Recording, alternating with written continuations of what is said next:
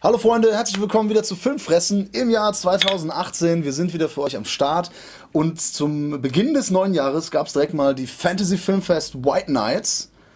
Very important Portuguese, VIP. Peter, very, Very important, important Peter. Und wir haben dieses Mal alle Filme geguckt. Und- alle zehn Filme. Genau, ich habe mir zum ersten Mal eine Dauerkarte geholt. Wahnsinn. Ich habe auch, ich habe nur die Karte nicht dabei. Ne? Aber ich habe trotzdem alle Filme gesehen, äh, auch im Kino. Und ähm, wir waren ja auch äh, in netter Begleitung da mit ein paar Freunden von uns. Das hat äh, Spaß gemacht. Und wir besprechen alle Filme für euch und Am alle Stück. einzeln. Dieses Mal alle einzeln. Und es geht sich direkt los mit dem ersten Tag. Ja, Samstagmittag waren wir natürlich total fit, weil wir äh, am Abend davor natürlich nicht trinken waren. Auf gar keinen Fall. Nicht Prost. ein Schluck.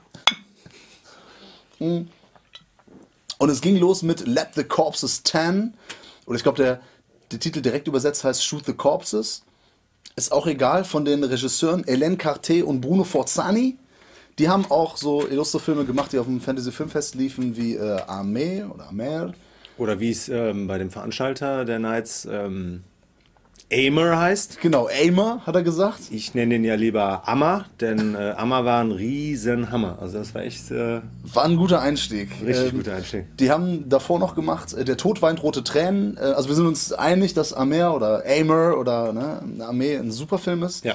Eine Reminiszenz an die ganzen Jallo-Geschichten, ne, so die, die Essenz der Jolly rausgezogen. Ja, das war perfekter Neo-Jolly, aber auch ein äh, Neo-Meta-Jolly. Genau, ein, ein, ein, ein Par Jallo über. Jallo. Ja. Und das bei Tod weint rote Tränen ähnlich, aber dann noch mal noch mehr Effekte, noch mehr Stilmittel reingebaut. Ich fand es ein bisschen anstrengend. Ja, richtiges Wort. Das hat äh, zu sehr von der vermeintlichen Geschichte abgelenkt. Fand ich, deswegen hat er mir nicht ganz so gut gefallen, obwohl ich ihn mögen möchte. Ja, also der Film hat jetzt so audiovisuell manchmal keinen Spaß gemacht, besonders auditiv. Ja. Das war, da wurde man schon auf eine harte Probe gesetzt. Genau, jetzt sind sie einen Schritt weiter gegangen und haben ein Buch verfilmt.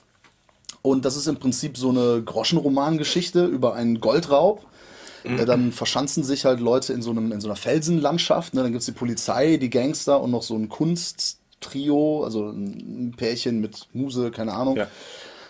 Und dann belagern sie sich gegenseitig und es geht darum, die Seiten wechseln. Es geht darum, wer hat am Ende das Gold und wer überlebt in dem ganzen Kugelhagel noch. Das ist die plumpe, simple Geschichte, aber das Regieduo hat es natürlich geschafft und hat natürlich wieder nicht sein lassen können, alles mit Stilmitteln voll zu ballern und Nahaufnahmen zu bringen, schnelle Schnitte, ähm, Übergänge, gegens Licht gefilmt, äh, solche Geschichten. Und ich fand das ziemlich gut. Ja, ich muss auch sagen, ich, das war der Film, auf den ich mich tatsächlich am meisten gefreut habe. Weil Aimer, Amma, Amer war tatsächlich ist einer meiner Lieblings-Neo-Jollies, wenn nicht sogar der beste Neo-Jolly für mich ist.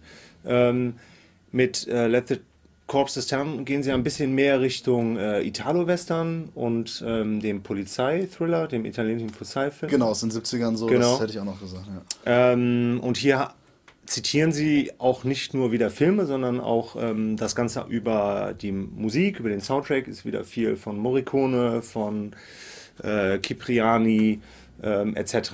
Ähm, da die schwelgen schon sehr stark in Nostalgie. ja, und das mögen wir ja gerne. Ja, natürlich.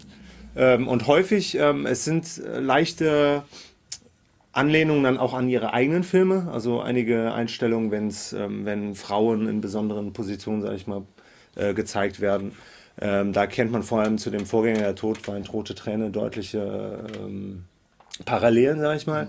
Ähm, aber man muss halt auch zum ersten Mal attestieren, dass sie versuchen, auch wenn die Story relativ ähm, rudimentär, rudimentär ist, äh, sehr spartanisch ist, versuchen sie zum ersten Mal eine Geschichte zu erzählen. Tatsächlich sich an der Geschichte lang zu hangeln. Genau. Ja.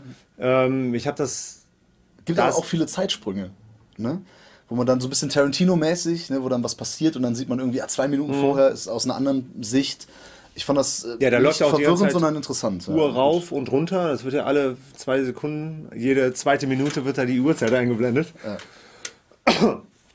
Ähm, der ist, das ist auch wieder ein absolut audiovisueller Rausch. Ähm, wieder geprägt von Versatzstücken. Lederfetisch Ja, ohne. Ende, den sie immer Nur keine haben. Messer, aber dafür riesige Shootouts. Genau, würde ich sagen, anstatt der Messer haben wir diesmal äh, wirklich äh, ersetzt so das phallische Symbol quasi die Knarre. Genau. Richtig. Ne? Ähm, es ist dann halt das, äh, Stück dafür. das, das Gegenstück. Ähm, da geht es ordentlich zur Sache. Es ist viel Symbolik auch, ne? Ja. Ähm, zum Beispiel diese die äh, goldene Frau, die so das Gold repräsentiert, ne? Und alle lechzen nach diesem Gold und nach das dieser Objekt Frau. der Begierde, ne? Genau, und dann, aber das Geile, sie pisst dann halt auf die. Ne? Das Äh. fand ich eine Szene, fand ich äh, sehr geil. Mehrmals sogar. Also jetzt nicht, nicht falsch verstehen. Ich fand, lass mal hier schneiden, bitte. das bleibt drin, mein Freund. Naja, war auf jeden Fall sehr cool. Äh, mir hat das sehr gut gefallen. Das ist halt so künstlerische Inszenierung. Ähm, das gefällt mir gerade von, von den beiden äh, sehr, sehr gut. Äh, dazu noch jetzt äh, bereichert um eine Geschichte. Ja, War gerade im Kino ein absolutes Erlebnis. definitiv. Ja, war doch schon mal ein super Einstieg in Super die Einstieg, Fantasy Filmfest White Knights. Und ähm, ja, es geht im nächsten Video weiter mit Hostile? Hostile. Ich war mir jetzt echt nicht sicher. Ja. Ist keine äh, Dokumentation über Pantera. Ja. Fucking Hostile. Pantera. Genau. Bis denn.